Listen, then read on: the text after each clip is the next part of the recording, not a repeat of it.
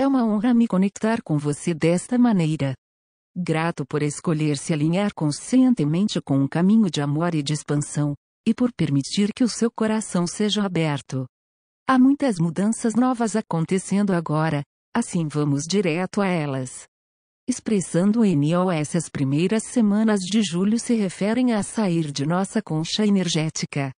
Haverá um forte desejo de sair de nossa rotina regular, para tentarmos algo diferente. Se tivermos saindo natural e pessoalmente, isto somente será intensificado. Se tendermos a ficar um pouco mais tímidos e introvertidos, estas próximas semanas abrirão algo dentro de nós, dando-nos a oportunidade de liberarmos grande parte da armadura que construímos em torno de nós. Esta armadura teve o propósito de nos proteger no antigo paradigma. No entanto, isto não é mais necessário, porque a nossa mente está se expandindo até um ponto onde ela entende completamente o que o nosso espírito cuida e sempre cuidou de nós, a cada passo do caminho. Esta armadura pode ser afastada agora. Sendo vistos, entramos neste mundo para sermos vistos. Ser visto começa com a escolha consciente de nos vermos primeiro. Se não estamos nos vendo plenamente pela magnificência que somos, continuaremos procurando fora de nós mesmos a aprovação, o amor e a aceitação. Fazer isto nos manterá no modo de perseguição, onde estamos constantemente buscando algo, e nunca nos sentindo verdadeiramente felizes e realizados. Quando eu mencionei que entramos neste mundo para sermos vistos, isto pareceu verdadeiro para você? Ou você sentiu que surgiu alguma resistência, se você sentiu resistência, saiba que isto é absolutamente normal. Muitas vezes, a razão pela qual somos resistentes a algo que nos ajuda a nos tornarmos uma prioridade, ou que nos permite brilhar intensamente, é que nos condicionamos a acreditar que o contrário é preferível. Aprendemos desde cedo a nos misturarmos com a maior parte da sociedade. Decidimos que não era seguro ou que não era bom para nós sermos inteiramente nós mesmos. E quando estávamos sendo nós mesmos, parecia que éramos punidos por isto. Porque o mundo não parecia pronto para o que tínhamos a oferecer. É claro, sabemos que isto não é o que estava realmente acontecendo, quando encaramos isto a partir de uma perspectiva expandida. Mas para a mente, estas experiências foram muito importantes e moldaram como começamos a aparecer no mundo.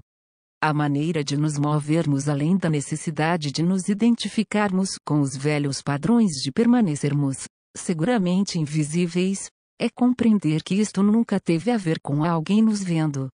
Tratava-se de nós nos vermos.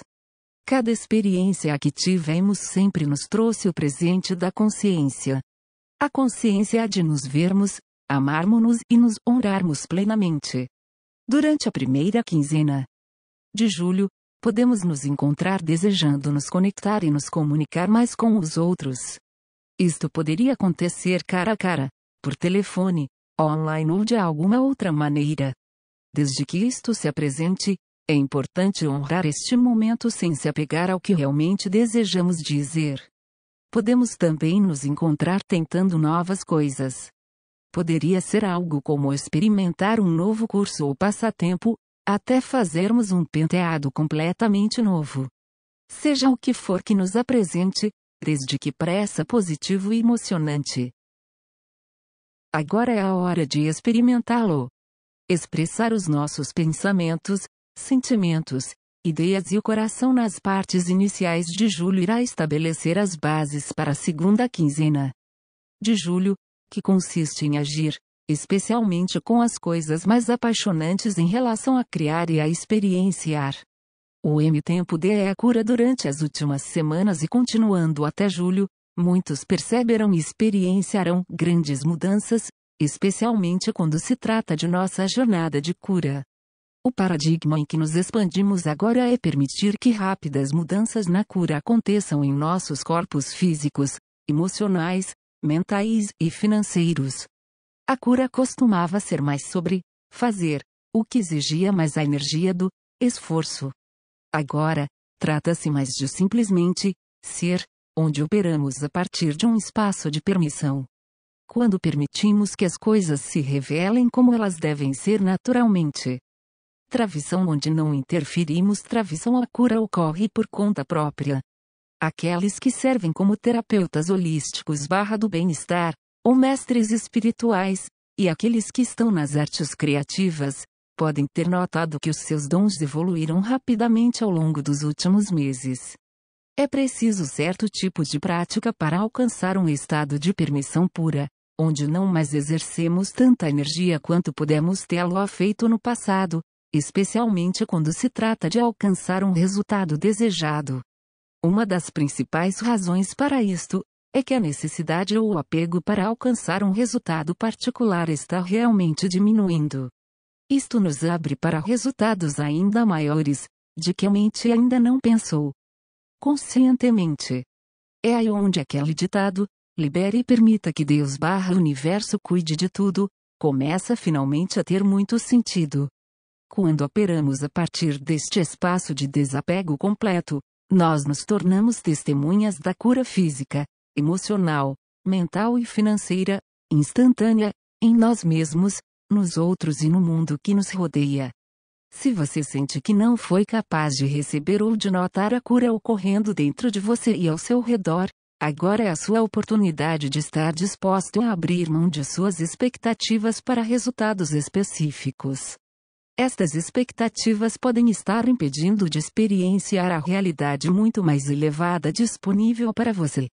Uma de minhas intenções favoritas da manhã é afirmar: escolho liberar e permitir o amor. Isto me lembra de que seja qual for o fardo e apegos que se estejamos ainda carregando, eu posso entregá-los amorosamente ao meu eu superior barra eu espiritual, de modo que possa criar espaço para que novas bênçãos entrem em minha vida.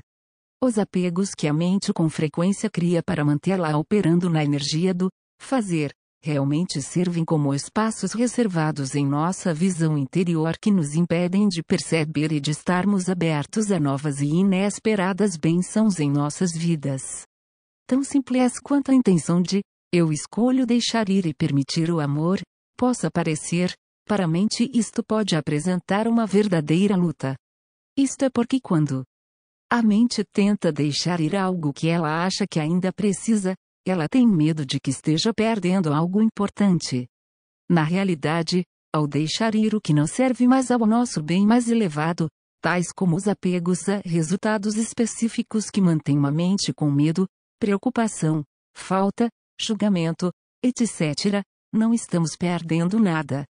Em vez disto, estamos ganhando tudo. Como? A mente pode perguntar. Quando liberamos, estamos deixando ir a ilusão. Nós podemos também chamá-la de perseguição. A ilusão ou a perseguição é simplesmente outra maneira de dizer esperar uma realidade limitada. Assim, quando deixamos ir a nossa crença nas limitações em torno de uma realidade, o que acontece? Entramos em uma realidade de possibilidades infinitas, expandindo o nosso potencial maior e não mais nos mantendo pequenos. Estamos, então, abrindo-nos para a vida no sentido mais pleno. Terminando a caça, a sociedade nos ensinou a olharmos para fora de nós mesmos para qualquer coisa que queiramos criar e experienciar. Este condicionamento criou a ilusão conhecida como a perseguição. Isto ocorre quando a mente decidiu que ela tem que perseguir e atingir algo, exercendo muita energia e tempo e ultrapassando desafios, a fim de chegar ao que ela acha que realmente quer. Isto não parece exaustivo? No entanto, todos nós conhecemos este processo muito bem, não é? Escolher viver no modo de perseguição. Às vezes, satisfaz o hemisfério esquerdo do cérebro, que se refere à ordem, estrutura e organização. Satisfaz esta parte da mente, porque alimenta a sua capacidade de operar no tempo linear, que é onde prosperam a estrutura mental e os padrões de sobrevivência. É importante honrar o aspecto estruturado de nós mesmos. No entanto, se estamos sempre operando a partir deste espaço, especialmente quando se trata de viver a vida que realmente desejamos, isto cria muitas limitações e nos esgota em todos os níveis.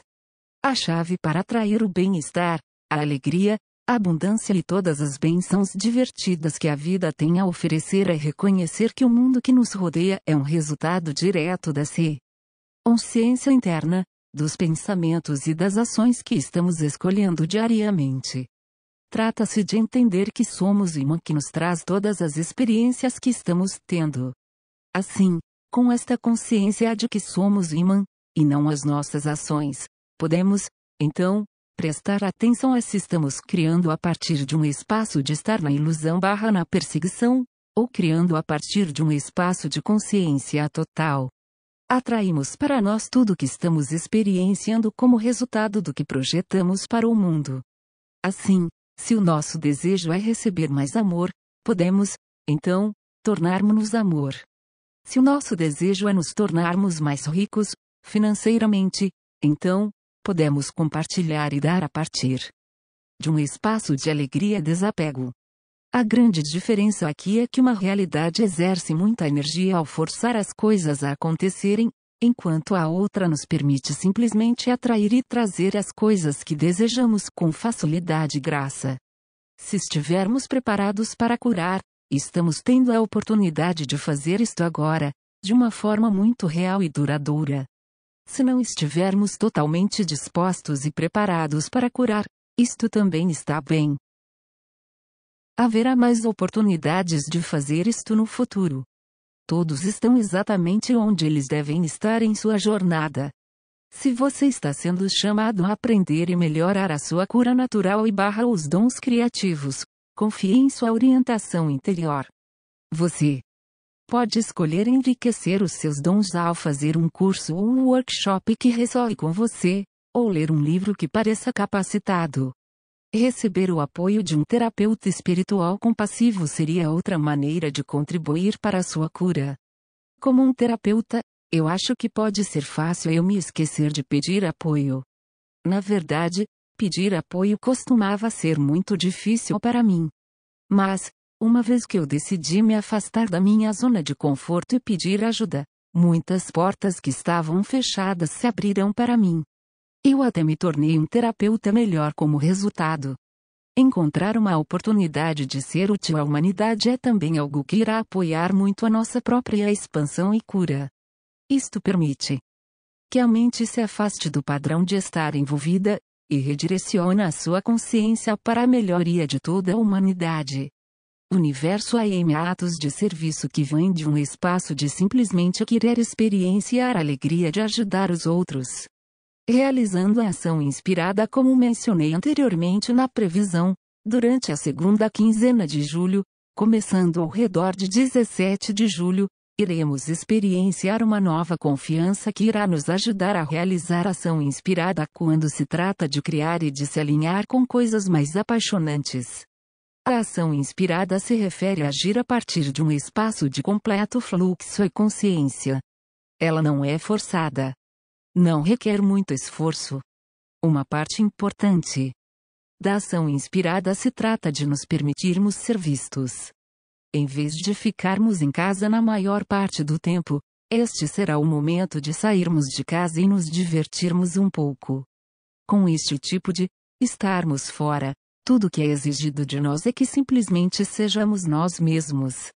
Tudo mais cuidará de si mesmo, desde que se estejamos presentes e no momento, e notando as oportunidades à medida que elas chegarem.